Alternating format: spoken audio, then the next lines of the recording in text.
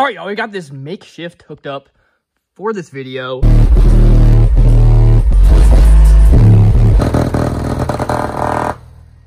Oh, there it goes. Oh, she's blown.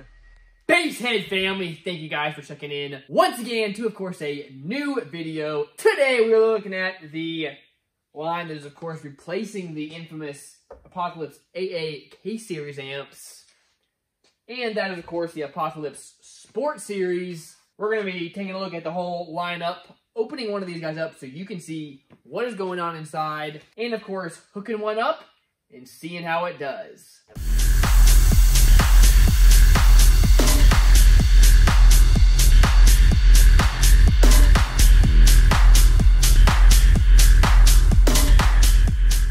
Now, Deaf Bonce had the AAK line of amps out for a pretty long time. These things are an absolute beast. If y'all have the pleasure of getting a demo with one of these amps, you'll just be amazed how well they do. I, of course, had my 815s on this guy right here, but I went to one show where I did not have this guy hooked up. I had a cheap amp in there just, just to test it out. That amp blew. So my buddy Remy hooked me up with an AAK uh, 8K to get me through the day, which I thought, hey, was going to be all right, but wasn't going to be anything crazy. Y'all, it ended up absolutely blowing my mind. Sounded incredible. Still able to do all the hair tricks in my no wall. Now, while that wasn't an incredible amp, there is one problem with the AAK line of amps, which is why they have come out with a new line. And what that is, is the price. Now, I don't got to tell you this, but it feels like everything out there is just getting super expensive super fast. That, of course, groceries, gas, rent, anything you can imagine, which of course means, hey, honest working people like myself, like y'all, can't afford to just go out and buy the most expensive stuff, even though that is probably what we would like. That being said, hey, if we're in the bass, we still want to be loud, we still want a solid amp, and we want to get the most bang for the buck. Now, of course, there's a lot of options out there full bridge amps are really coming onto the scene.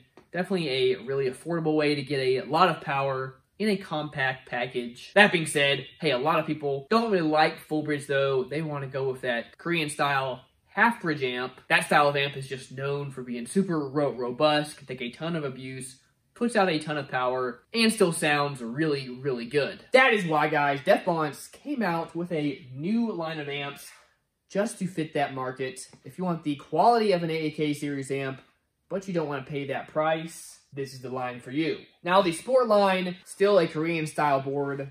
Only difference is they have a manufacturer in China that are building these as opposed to a manufacturer directly in Korea. Now, I know a lot of guys, when you hear China, you think that means low quality, but y'all pull your iPhone out, out of your pocket. Until very, very recently, most of those have all been made in China. And guys, 90% of the stuff that we use day to day is made in China. Some of it is absolute junk. Some of it isn't. Regardless, guys, it is just way more affordable to order stuff from China than Korea, which is why Deaf Bonce went this route. Now, just to explain to y'all how much cheaper these things are, y'all, to get the AAK 8K, it retails for 1750 bucks. That is one expensive 8K. What Deaf Bonce was able to do with these guys is that, for example, the 8K version is only 1050 bucks. That's right, guys. That is a ton, ton of savings for what they say is still pretty much the same quality. Let's take a look at the lineup show y'all what they have. Currently, they have six amps in this sport line. First off, they have three two-channel amps. They have a 1000.2, a 1500.2, and a 2000.2. And then over here, we have the one-channel amps. Of course, got a 4000.1, a 6000.1, and an 8000.1. All of you guys also have the oversized zero-gauge inputs that will fit stuff like the oversized sky-high wire. Fits in there just perfect. They also fit your standard dual inputs. Here's a DS18 one for zero gauge. Fits in there with room to spare. Sky High car audio. Oh, that fits in there literally perfect. Very nice. They all have the really nice Tiffany style connectors. And the one channel amps do of course have master and slave modes. We also, of course, we have gain, subsonic, and low pass filter over here on all the one channels. You'll notice, hey, No bass boost on these things because, y'all, we don't need it. And on the two channels, we got gain, high pass filter, and you can go between 1x and 10x. Crossover, high pass, flat, low pass. So you can use these for your bass. And then, of course, we've got the low pass adjustment, 1 and 10x there as well. And, of course, power protect and clip lights. The two channel amps all have just one pair of inputs. The one channel 4K has two pairs. And the 6 and 8K have three pairs. Also, one thing I thought was interesting, this 4K has the outputs on this side with the inputs, which is the same on the two channels.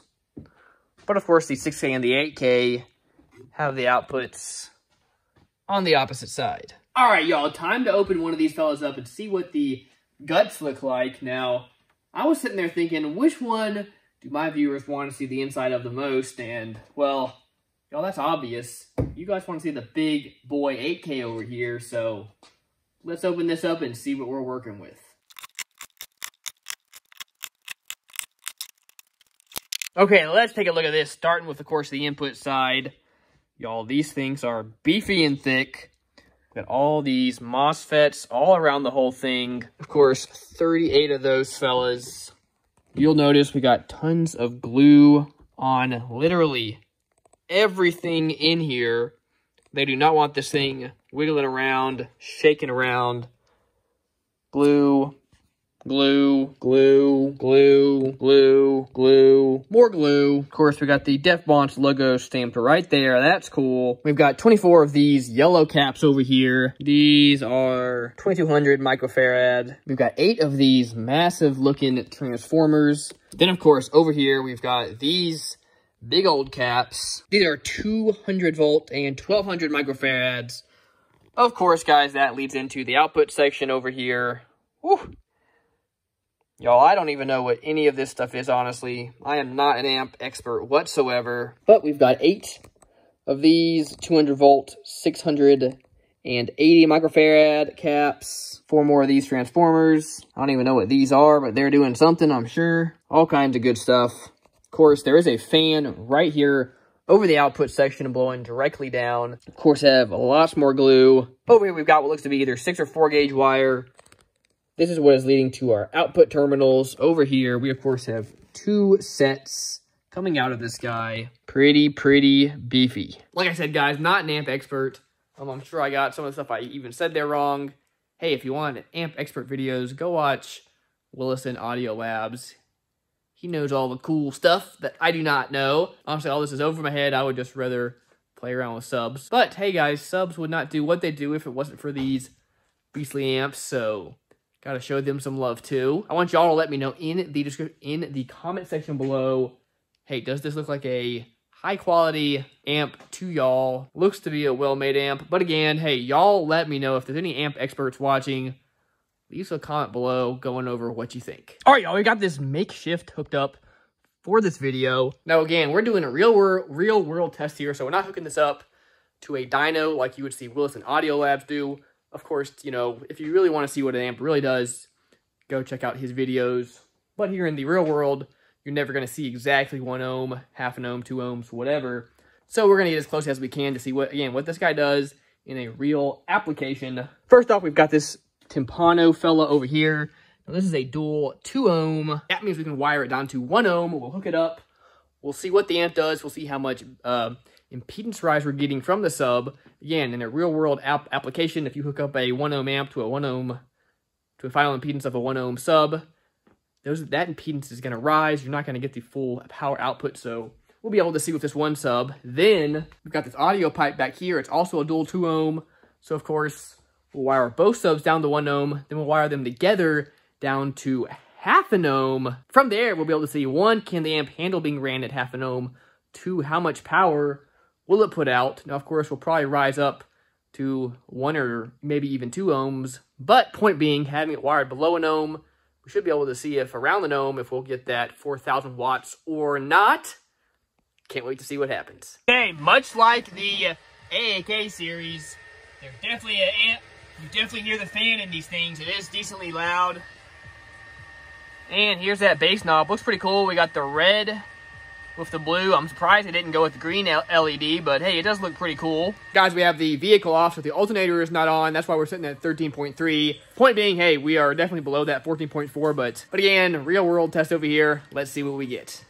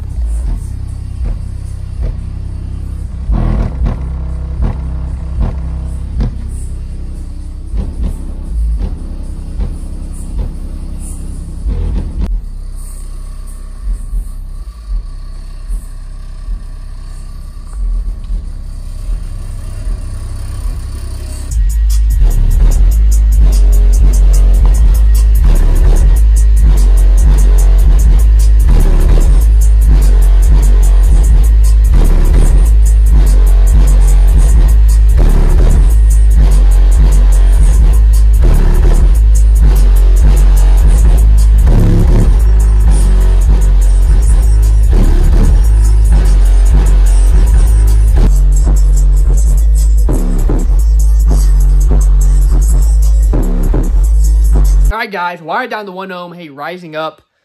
That last song was like 1.8 to like 2.5 ohms. And the amp was putting out 3,000 to 3,300 watts. Absolutely no problem. Giving this big fella right here a run for its money. Point being, guys, this guy puts out the power even at 2 ohms. And for this being such a ghetto-looking setup, hey, it didn't sound too bad at all. All right, next up, let's turn up the sketchiness a little bit more. Gonna hook this guy up as well. That will, of course, drop us down to a final impedance of about 0.5 ohms, half an ohm. One of the reasons that people like the Korean half bridge amps is that they can handle being wired down to half an ohm without popping, whereas some of the older full bridge amps um, would like to pop when you'd run them that low. All right, guys, got both of these subs hooked up. And as you can see, we're sitting right at 0.5, 0.6 ohms.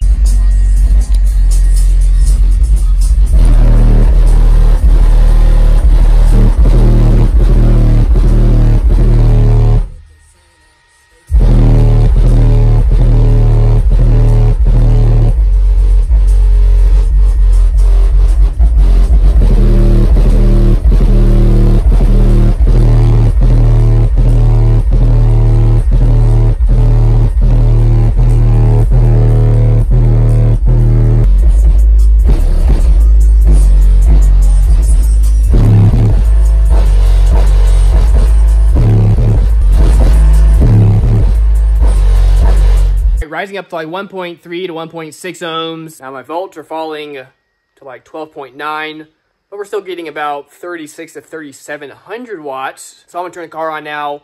Well, the alternator, that'll help the voltage out at least a little bit. We'll see if we can break up into that 4,000. Okay, so this this guy is up front. You can see what's in that 14.1. This guy reads the battery bank. You know, the battery bank, again, this puts such a suck on the system that is really bringing that voltage uh, down, but hey, we'll see what we get.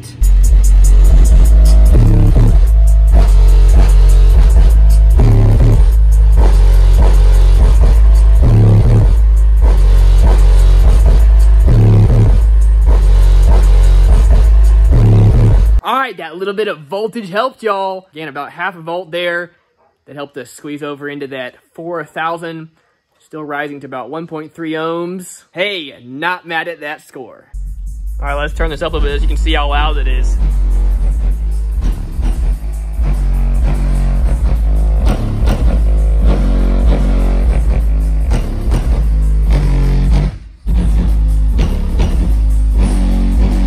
Rattling the whole shop out here.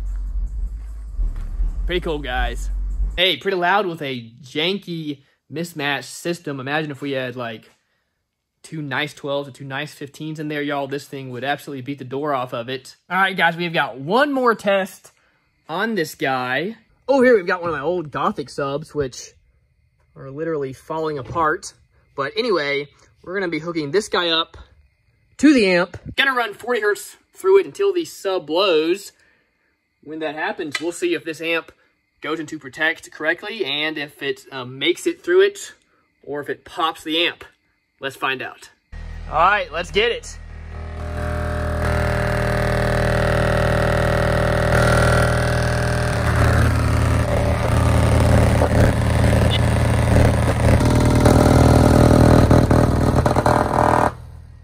Oh, there it goes. Oh, she's blown. She's blown. All right, let's get this turned off. All right, guys, this coil totally blew. This coil still seems to be hanging on, though. The amp didn't make any crazy popping noises or anything, so I'm to hook another sub up to it. Uh, just make sure it's still working. We'll see. The amp is on. We are not in protect. It doesn't look. It doesn't look like it. Let's see if this guy still works. Yes, sir. The amp is still going. Oh, yeah. Good. There you have it, guys. This 4K made it through the blown sub test. Now, I do gotta say, when you blow a sub, when something shorts, honestly, any amp can blow. I've seen really nice amps blow. I've seen cheap amps make it through. Let's get into the things I liked about this and the couple cons. First off, hey, I like the power. Does what it says it does. Two, I like the looks. Big, beautiful looking amp. Internals look nice. Of course, I love the Tiffany style connectors. All the adjusters and everything feel really nice. Inputs, of course, I love that we have dual inputs even on the 4K, and they are plenty big for oversized zero gauge wire. It sounded great. It did exactly what I would expect it to do. And it was all around just a really solid amp. Couple possible downsides. One, the size. This is a big, big amp for a 4K. Being half bridge, guys, these are just big, big amps. That is, of course, just the nature of these. But it is hard to beat full bridge amps, just how compact and small they are if you're tight on space. Two, of course, while the price on these is much, much better than the AAK series, these are a really good value for a half bridge amp.